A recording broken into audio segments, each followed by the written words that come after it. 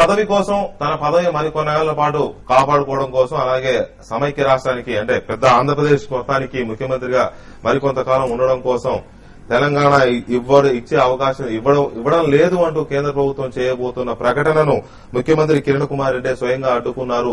సమైక్యంగా ఉండాలనే సమైక్య ప్రకటనను అడ్డుకున్నారు కిరణ్ కుమార్ రెడ్డి అంటూ కాంగ్రెస్ పార్టీ సీనియర్ నేత గాదె వెంకటరెడ్డి నిన్న ఒక ఛానల్ ఇంటర్వ్యూలో చాలా సివియర్ కామెంట్స్ చేశారు. అలాగే వైఎస్ రాజశేఖర రెడ్డి పైకి మాత్రం తాను తెలంగాణ వ్యతిరేకిని కాదు అంటూనే ప్రత్యేక ఉత్తరాంధ్ర రాష్ట్రం అలాగే రాయలసీమ రాష్ట్రం డిమాండ్ కూడా లేవనెత్తారు. వీటన్నిటి వెనుక కాంగ్రెస్ పార్టీ అధిష్టానం డైరెక్షన్ ఉందని కూడా ఆయన చాలా సీరియస్ కామెంట్స్ చేశారు.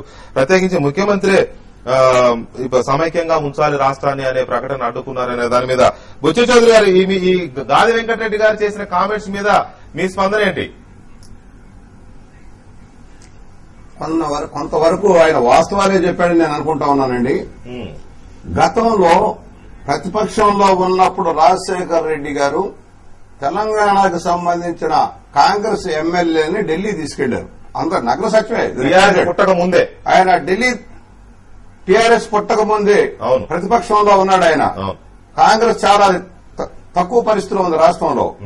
చంద్రబాబు గారిని దెబ్బతీయాలన్న లక్ష్యంలో ఎ- ఎమ్మెల్యేలను తీసుకొని ఢిల్లీ వెళ్ళారు సోనియా గాంధీ గారికి చెప్పారు. తర్వాత ఇక్కడ యాక్షన్ మొదలైంది. అంటే బహుశా సోనియా గాంధీ గారి ఆశీస్సులు అలా ఉన్నాయనే గాంధీ వెంకటరెడ్డి గారు రుజువు చేస్తా ఉన్నారు. ఎందుకంటే తమ అవసరాల కోసం రకరకాల వాదాలు రేవదీయడం కాంగ్రెస్ అలవాడు మ్మ్. రాజశేఖర రెడ్డి గారు ఏం చేశారు? ముందు తెలంగాణ వాదాన్ని రెచ్చగొట్టారు తర్వాత ఉత్తరాంధ్ర అన్నారు రాయలసీమ అన్నారు. మరో విషయం కూడా మీరు దృష్టి పెడుతున్నా. జల వివాదాలు తెచ్చింది ఎవరండి ఈ రాష్ట్రంలో. రాజశేఖర రెడ్డి గారి నాయకత్వంలో. ఒక పక్కనేమో కర్నూలు తెలంగాణ నాయకుల్ని పులిచింతల కట్టొద్దు దానికి అడ్డుకోండి అని చెప్తారు. మరోవైపేమో మండల బుద్ధ ప్రసాద్ గారిని వారిని ఉపయోగించి ఇది కట్టాలని ఆ పార్టీలోనే వాదం లేవదీసింది రాజశేఖర రెడ్డి గారు. ఈ విధంగా ప్రాంతీయ. విభేదాలను రెచ్చగొట్టింది కాంగ్రెస్ పార్టీ. అన్ని అటు జల వివాదాలు గాని ఇటు ప్రాంతీయ వివాదాలు గాని రెచ్చగొట్టి ఈ రోజున ఈ రావణ కాష్టానికి ప్రధాన కారణం కాంగ్రెస్ పార్టీ. రాష్ట్రాన్ని. సమైక్యంగానే ఉంచబోతున్నాం అని కాంగ్రెస్ పార్టీ అధిష్టానం కేంద్ర ప్రభుత్వం నిర్ణయం తీసుకుని ప్రకటించబోతున్న సమ- సమయంలో కిరణ్ కుమార్ రెడ్డి దానికి అడ్డుపడ్డాడని కూడా ఒక సీరియస్ అలిగేషన్ గాది వెంకటరెడ్డి గారు చేశారు.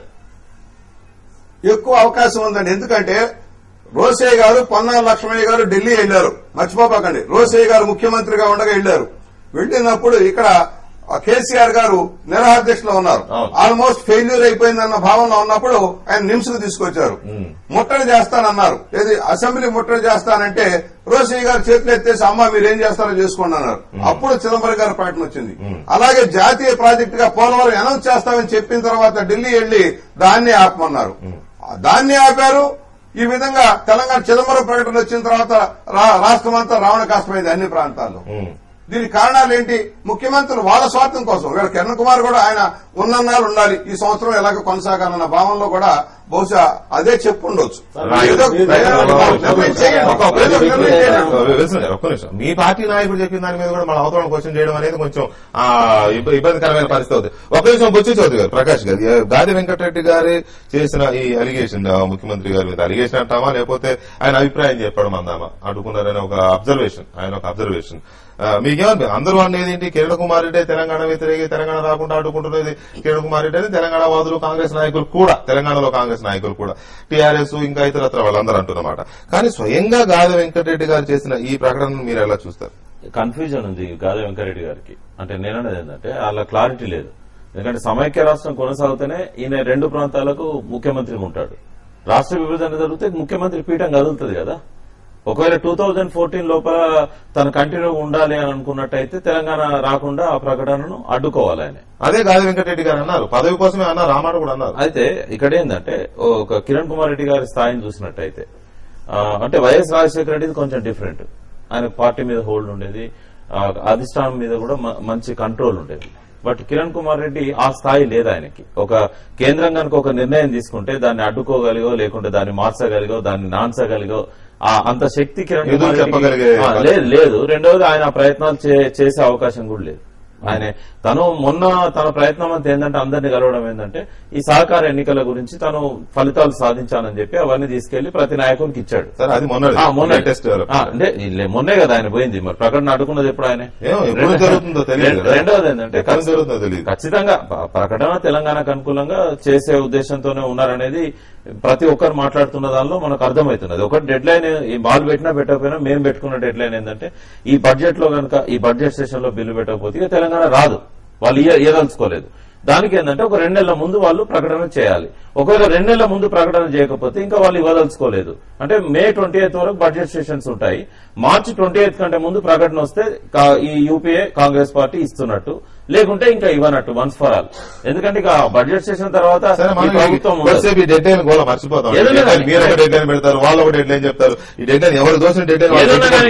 కిరణ్ కుమార్ రెడ్డి గారికి మాత్రం అంత శక్తి లేదు. ఒక మాట బుచ్చయ్య చౌదరి గారు చెప్పిన దానిలో ఒక చిన్న రాజశేఖర రెడ్డి గారేం తెలంగాణ ఉద్యమాన్ని లేపలేదు ఢిల్లీకి పంపింది కూడా ఆయన కాదు. మీకు అందరికీ తెలుసు ఆ రోజు నలభై ఒక్క మంది అంటే ముప్పై ఎనిమిది మంది సంతకాలు పెట్టిన తర్వాతనే వాళ్ళు సోనియా గాంధీ మెమోరాండం ఇచ్చిన తర్వాతనే ఆయనకు తెల్లవారు తెలిసింది. ఏది రాజశేఖర రెడ్డి గారు? మరి. ప్రతిపక్ష నేతగా లేదండి వాస్తు నేనే కదా పెట్టించింది. రాజశేఖర రెడ్డి గారి- ఇక్కడ నేను ఉన్నవాడు చెప్తున్నా. ముప్పై ఎనిమిది నలభై రెండు మంది ఎమ్మెల్యేలు ఒక మాట నన్ను అడగండి మీరు అన్నదానికి. ఆ. నలభై ఒక్క మంది నలభై రెండు మంది ఎమ్మెల్యేలు రాజశేఖర రెడ్డికి తెలియకుండానే మెమోరాండం తయారు చేసిన తర్వాత ఎస్ ఎస్ జరిగింది అది. నేనే చేశాను అది. పీజేఆర్ దానికి సలహా ఇచ్చాడు. పీజేఆర్ సలహాతోని ముందు వాళ్ళ ఇంటికి నలుగురు ఎమ్మెల్యేలను పిలిపించి సంతకాలు పెట్టించిన తర్వాత రాజశేఖర రెడ్డి గారికి తెలియకుండా ఆయన అసెంబ్లీలో ఉన్న టైంలో కారిడార్లో ఎమ్మెల్యేలను పట్టుకొని పెట్టించాం. జరిగిన వాస్తవం. ఇంత పెద్ద పార్టీలో ఒక మాట దయచేసి అంత పెద్ద కాంగ్రెస్ పార్టీలో నలభై మంది ఎమ్మెల్యేలు కలిసి ఒక యాక్టివిటీ. ప్రతిపక్ష నేతగా మీరు ఒక పని చేయండి మీరు ఓపెన్ సీక్రెట్ పెట్టండి. చిన్నారెడ్డి గారే సంతకాలు పెట్టించారు. నేను చిన్నారెడ్డి గారే మొత్తం నలభై ముప్పై చిన్నారెడ్డి గారే చెప్పారు ఒక సందర్భంలో రాజశేఖర రెడ్డి గారే మమ్మల్ని సెకండ్ టైం అది. ఏంటంటే ఢిల్లీకి పోతుంటే ఆయన అబ్జెక్షన్ చేయలేదు. ఎందుకు అనంటే సరే మీరు ఒకసారి మెమోరాండం. దాని తెలంగాణ ఉద్యమాన్ని కాంగ్రెస్ పార్టీ కదా? పోనీ రాజశేఖర రెడ్డి కాంగ్రెస్ పార్టీ కదా? రైట్ ఇక్కడ వెంకటేశ్వర గారు. ముఖ్యమంత్రి కిరణ్ కుమార్ రెడ్డి గారు దీన్ని అడ్డుకున్నారని గాది నేను అనేక సందర్భాల్లో చెప్పినాను. ఈ మధ్య కాలంలో జరిగే పరిణామాలు ప్రకాశం ఉన్న సందర్భంలో ఎన్టీవీలో గాని టీవీ ఫైవ్లో గాని మీడియా ద్వారా.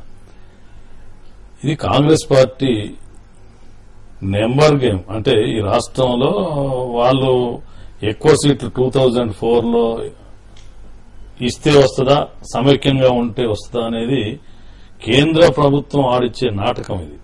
ఎందుకంటే ఈరోజు కేసీఆర్ గారు పత్రికల్లో వచ్చిన వార్తలు కానీ ఎలక్ట్రానిక్ మీడియాలో కానీ కేంద్ర కేంద్ర ప్రభుత్వం తెలంగాణ ఇస్తలేదని ప్రకటన చేసినారు. ఇరవై ఐదు రోజులు ఢిల్లీలో ఉన్నారు. ఉన్న సందర్భంలో కూడా ఏంది అనేది అక్కడ ఏం జరిగింది అనేది మాత్రం మూడో వ్యక్తికి తెలియదు వాళ్ళ కుటుంబ సభ్యులకు తప్ప. జరిగిన చర్చలో అంటే కేంద్ర ప్రభుత్వం కాంగ్రెస్లో కలుపుతాం టీఆర్ఎస్ అన్న తర్వాత కూడా తెలంగాణ ఇవ్వకపోవడంలో కొంత ఈ మధ్య కాలంలో అనేక ప్రకటనలు కొంత ఫ్రంట్ పెడతామని కాంగ్రెస్ పార్టీలో సభ్యత శాసనసభ్యులుగా పార్లమెంట్ సభ్యులుగా కొనసాగుకుంటూనే తెలంగాణ ఫ్రంట్ ఏదో ఒక పేరు మీద ఫ్రంట్ పెడదామనేది కూడా పెడుతున్నామని రకరకాల రకరకాలు వచ్చినాయి. అంటే కాంగ్రెస్ పార్టీ నాయకులు అది కేసీఆర్ ఇద్దరు మాట్లాడుకున్న విషయమా? లేకపోతే కేంద్ర ప్రభుత్వం? డైవర్ట్ అవుతున్నాం. ఇప్పుడు కాంగ్రెస్ పార్టీ టీఆర్ఎస్ ఏం చేసింది అనేది కాదు. గాది వెంకటరెడ్డి గారు కిరణ్ కుమార్ రెడ్డి గారికి వారు చెప్పిన సంబంధించి రెండు ప్రకటనలో కూడా రాజశేఖర రెడ్డి గారి విషయంలో గాని కిరణ్ కుమార్ రెడ్డి గారి విషయంలో ఏం చెప్పినారు? కేంద్ర ప్రభుత్వ హస్తం ఉంది అనేదే చెప్పినాడు నేను-. నేనేమంటున్నాను దానికి దానికి.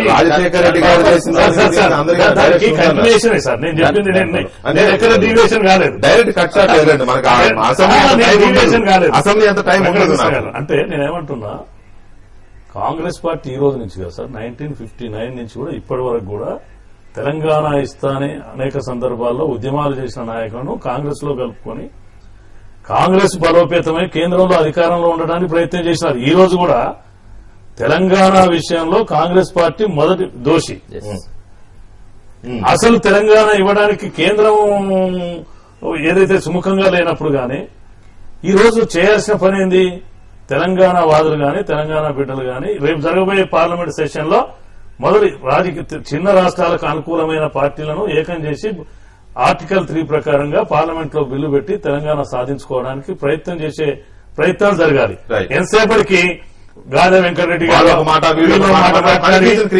కన్ఫ్యూజన్ విల్సన్ గారు. ముఖ్యమంత్రి గారే రాష్ట్రం సమైక్యంగా ఉండడానికి అడ్డుపడ్డారు అనేది అంటే గాది వెంకటరెడ్డి గారిని తీసేయడానికి చాలా సీనియర్ పొలిటీషియన్ ఆయన మొదటి తరం నాయకులకు చే- శ్రేణికి చెందిన నాయకుడు ఆయన. మీరేం చెప్తారు? అధికార ప్రతినిధిగా. ఆయన ఆయన. ఆయన ఏ ఉద్దేశంతో చెప్పినప్పటికీ తెలంగాణ ఇవ్వాలనుకుంటే దాన్ని అడ్డుకోవడానికి రాజశేఖర రెడ్డి గారు కానీ లేకపోతే కిరణ్ కుమార్ రెడ్డి కానీ బొత్స సత్యనారాయణ కానీ మాకు కానీ ఊరికి శక్తి ఉండదు. ఒకవేళ సోనియా గాంధీ గారు అనుకుంటే. ఎస్ పార్టీ హైరార్కీ అనుకుంటే. వంద శాతం. ఉమ్, అది అది బహుశా అవగాహన రాహిత్యం ఆయన పెద్ద ఆయన అయితే అయ్యుండొచ్చు కానీ అవగాహన రాహిత్యం ఒకటి మాత్రం వాస్తవం ఏంటంటే ఇప్పుడు తెలంగాణ ప్రకటన చేస్తే సీమాంధ్ర నుంచి రాజీనామా చేస్తారు ప్రభుత్వం పడిపోతుంది. లేకపోతే తెలంగాణ ఇవ్వనంటే తెలంగాణలో అన్రెస్ట్ వస్తుంది తెలంగాణ నుంచి ఇక్కడ రాజీనామా చేస్తారు మళ్ళీ ప్రభుత్వం పడిపోతుంది కాబట్టి ప్రభుత్వం పడిపోయే అవకాశం ఉంది కాబట్టి బడ్జెట్ సమావేశాలు ఉన్నాయి కాబట్టి మీరు కొంత టైం తీసుకొని ప్రకటించండి అని చెప్తే చెప్పుండొచ్చేమో కానీ తెలంగాణ ఇవ్వాలనే డెసిషన్ సోనియా గాంధీ తీసుకుంటే ఒక- ఉండదు. ఒక నిమిషం అన్న. అడ్డుకునే శక్తి భూమి మీద ఎవరికి ఉండదు అది ఒకటి అర్థం చేసుకోవాలా వెంకటరెడ్డి గారి ఉద్దేశం రకరకాల ఉండొచ్చు. తర్వాత ఇంకోటి ఏంటంటే తెలంగాణ కాదు కానీ కాంగ్రెస్ అదే తెలంగాణ విషయంలో నేను- చెప్తాను తెలంగాణ ఈ రోజు వైఎస్ఆర్ సిపి నాయకులు వంద మాటలు మాట్లాడచ్చు కానీ రాజశేఖర రెడ్డి గారు రెండు వేల తొమ్మిది ఎన్నికల్లో తెలంగాణ ఇవ్వడం సాధ్యం కాదు కాబట్టి తెలంగాణ టీఆర్ఎస్ వదిలేసి నేరుగా ఎన్నికలకు వెళ్ళాడు. ఈ రోజు రాజశేఖర రెడ్డి గారు మనుషులు అనుకుంటున్న వాళ్ళు ఎవరు కూడా? ఆయన ఆశయాలు కొనసాగించారు ఆయన సత్య వరకు కూడా ఆయన ఇప్పుడు ఆ పైన ఆత్మ ఉన్నా గానీ ఆయన సమైక్యవాదిగానే ఆయన ఉన్నాడు. మొదటి నుంచి కూడా చాలా క్లారిటీగా ఉన్నాడు అయితే ఆయన ఒకే ఒక మాట అన్నాడు. హైకమాండ్ డెసిషన్ తీసుకుంటే నేను తలగ్గుంటానని ఇప్పుడు కూడా కిరణ్ కుమార్ రెడ్డి గారు ఒకటే అంటున్నారు. తెలంగాణ ఇవాళ హైకమాండ్ డెసిషన్ తీసుకుంటే దాన్ని మీరు రెస్పెక్ట్ చేస్తా అన్నారు ఆయన ఎక్కడ డినై చేయలేదు కాబట్టి ఇక్కడ మీరు గాని మిగతా మన మిత్రులందరూ ఒకటైతే- తెలంగాణ ఇవ్వాలని సోనియా గాంధీ డెసిషన్ తీసుకుంటే కాంగ్రెస్ పార్టీలు ఎవరు కూడా కాదని అవకాశం గాదా వెంకరెడ్డి గారు ఒకటైతే నిజం ఒప్పుకున్నారండి. ఇంతకాలం మేము తెలంగాణ నిధులతో బతుకుతున్నాము. ఒకవేళ తెలంగాణ మా ప్రాంతం అని చెప్పి. ఇంకొక- టాపిక్లోకి వెళ్దాం వెంకటేశ్వర గారు. నిన్న హరీష్ రావు గారు ఒక కీలకమైన ఇది చేశారు. డైరెక్ట్గా వైఎస్ఆర్ కాంగ్రెస్ పార్టీని అటాక్ చేశారు ఆయన. వైఎస్ రాజశేఖర రెడ్డిపై సానుభూతి అవసరం లేదు ఎందుకు సానుభూతి చూపించాలి? కుటుంబానికి గ్రామంలో కుటుంబానికి రెండు వందలు ఇచ్చి రాష్ట్రంలో ఆయన కుటుంబానికి మాత్రం లక్షల కోట్లు దోచిపెట్టుకున్నారు. తెలంగాణ బిల్లు పెడితే వైఎస్ఆర్ కాంగ్రెస్ పార్టీ మద్దతు ఇస్తుందో లేదో చెప్పిన తర్వాతే షర్మిల పాదయాత్ర కొనసాగించాలని. ఎందుకు ఇంత ముందు కొంచెం ఇంత డైరెక్ట్ అటాక్ ఉండేది కాదు. సార్ సార్ దీనికి ఒక కారణం సార్. తెలంగాణ ప్రాంతం వారే కేసీఆర్ గారు చెప్పినారు హరీష్ రావు గారు చెప్పినారు అనేక మంది. సరే ప్రకాష్ అన్న తెలంగాణ వాదిగా మేము హండ్రెడ్ పర్సెంట్ చేస్తాము. వారు కేసీఆర్ కన్నా తెలంగాణ రావాలని కోరుకునే దాంట్లో ప్రకాష్ గారు ఒకటి కానీ వాళ్ళకి సీట్లు మొదలు ఓట్లు కావాలి. తెలంగాణ రాష్ట్రం కన్నా. వారే ఒక మాట ఆది నాయకత్వం. మేము చెప్పినా మేము చెప్పినా మేము ఏం చెప్పినా మా స్టాండ్ చెప్పినాం. వారు ఏంది? గతంలో తెలంగాణలో టీఆర్ఎస్ కోస్తాంధ్ర రాయలసీమ. అని చెప్పినారు. కరెక్ట్. ఈ రోజు షర్మిల గారి పాదయాత్ర గాని సిరిసిల్ల మీటింగ్ గాని తెలంగాణ ప్రాంతంలో ఎప్పుడైతే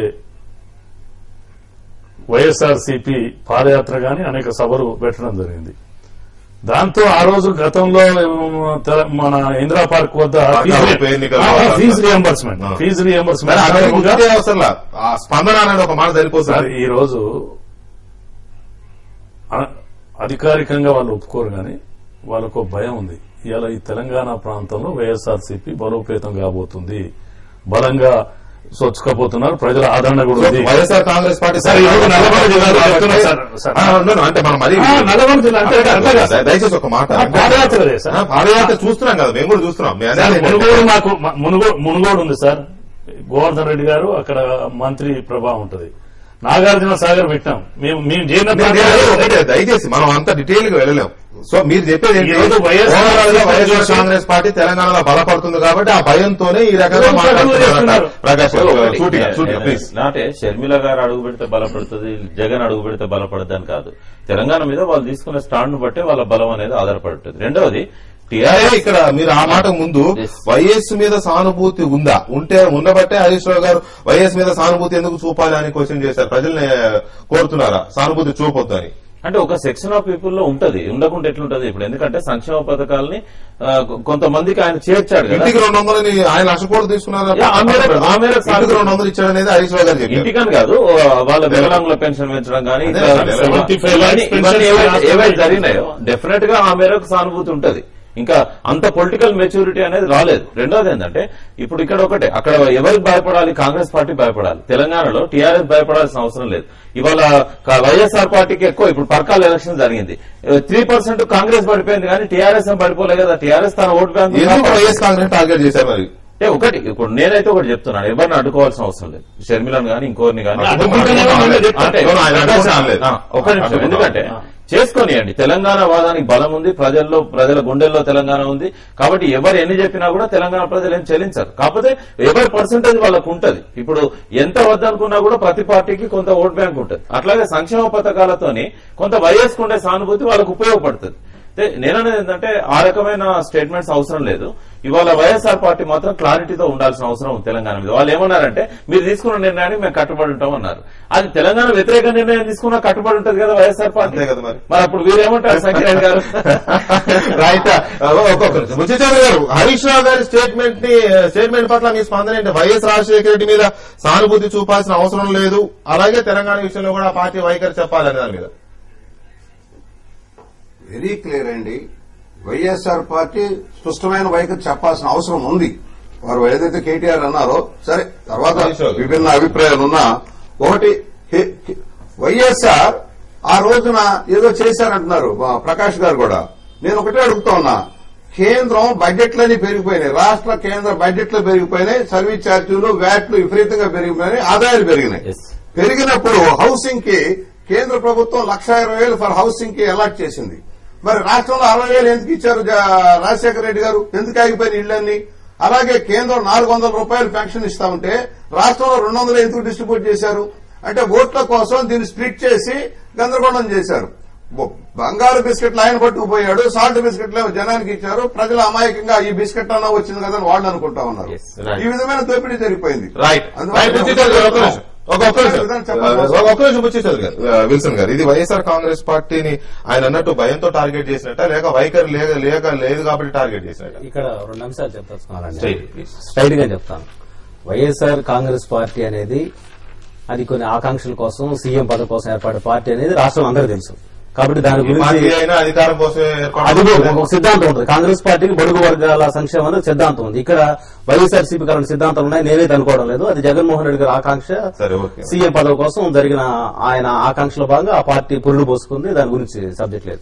అదే సమయంలో నేను హరీష్ గారు గాని కేసీఆర్ గారికి ఎప్పుడు తెలంగాణ రావాలని మన ప్రకాశ్ అన్నకు ఉంది వంద శాతం. ఆయన నేను అభినందిస్తాను గౌరవిస్తాను. తెలంగాణ రావాలని నాకు హరీష్ ఉందని అనుకోవడం లేదు లేకపోతే కేసీఆర్ లేదు. మీరు అన్యాయం అనొచ్చు అని అనకపోవచ్చు. అంటే మీ మీ అభిప్రాయం మీరు ఉంచుకోండి నా అభిప్రాయం చెప్పండి ఎందుకంటే చాలా క్లారిటీగా తెలంగాణ రావాలనుకుంటే అలాంటి దూషణ పర్వాన్ని వాళ్ళు కొనసాగించారు. ఎక్కడ కాడ ఇప్పుడు నేను చెప్తున్నాను ఈ రోజు హరీష్ రావు గారికి కానీ రేపు దూషించలేదండి. ఆయన దూషించలేదు. చెప్పారు. నేను అదే చెప్తాను, రేపొద్దున వాళ్ళు వైఎస్ఆర్ సిపితో అలయన్స్ రామని చెప్పని ఇప్పుడు ఏమన్నా ఒక మాట చెప్పగలరా? చెప్పలేరు కాకపోతే ఇక్కడ ఏంటంటే పూర్తిగా రెండు వేల పద్నాలుగు నాటికి వంద మంది ఎమ్మెల్యేలు కావాలా? లేకపోతే పదహారు మంది ఎంపీలు కావాలి? Single agenda formula. తప్పలేదు కదా. మీరు కూడా రెండు వందల తొంభై నాలుగు మంది ఎమ్మెల్యేలు కావాలని రాజకీయ పార్టీ. ఉద్యమ వాళ్ళ. రాజకీయ పార్టీ కాదా? రాజకీయ పార్టీ అంటే ఉద్యమ పార్టీ అంటారు. పార్టీ అనే పదం ఉందా లేదా? ఉద్యోగం? మీలాంటి విశ్లేషకులు మేధావులు కూడా? మీరు చాలా వ్యక్తి? ఎందుకు ఎందుకు కావాలి? కావాలంటారు ఎందుకు కావాలంటారు అంటూనే ఇక్కడ. లాస్ట్ మినిట్ నెక్లెస్ రోడ్లో గారు ఉద్యమాన్ని బలహీన ఈ పరిచే రాష్ట్రంలో క్రమంలో కేసీఆర్ గారి దేశంలో పాత్ర ఉంది. గాని, సార్ దేశంలో గాని ఇందిరాగాంధీ గారు కూడా ఇరవై సూత్రాల పథకాలు బ్యాంకుల జాతీయం అనేక రకాలుగా పథకాలు పెట్టారు ఏ రాజకీయ పార్టీ కూడా ప్రజలు కోరుకునే కార్యక్రమాలు చేయడంలో చేయాల్సిన అవసరం ఉంది. రకరకాల ప్రాంతాలు ఉంటాయి, పోకూడదు. ప్రాంతాల్లో గాని అక్కడ ఉన్న ప్రజల పరిస్థితులను బట్టి. ఇప్పుడు హరీష్ గారు మాట్లాడిన విషయంలో కూడా ఒక పక్క కేసీఆర్ గారు వెయ్యి రూపాయలని వాళ్ళు సంక్షేమ పథకాలు కూడా ప్రకటించినారు ఈ మధ్య కాలంలో. అనుకుంటూ ఈ మధ్య రాజశేఖర రెడ్డి గారిని జగన్మోహన్ రెడ్డి గారిని పథకాలు రెండు వందలు అనటం వాస్తవం కాదు. గతంలో తెలుగుదేశం ప్రభుత్వంలో నేను ఎమ్మెల్యేగా వద్దు దయచేసి. ఒకటే. రెండు వందలు ఇచ్చారు లక్ష కోట్లు తీసుకున్నారు. సార్ అది చెప్పినట్టు. పేద వర్గాల గుండెల్లో రాజశేఖర రెడ్డి గారు ఉన్నారండి. రాజశేఖర రెడ్డి గారు పెట్టిన పథకాలు పథకాలకి. సార్ మీరు కేంద్ర